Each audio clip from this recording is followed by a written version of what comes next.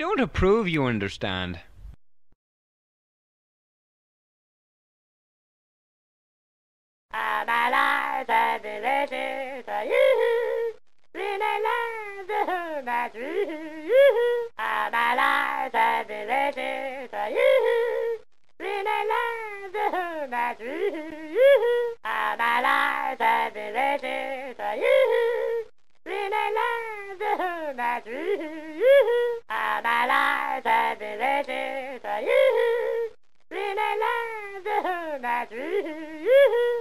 Man's got ammunition.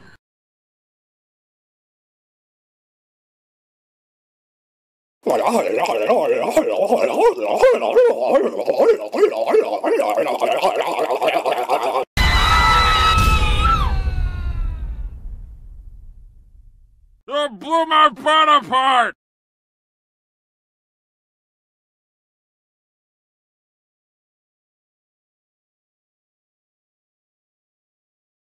Holy heckaroonie! That was the creepiest thing I have ever seen in my entire life.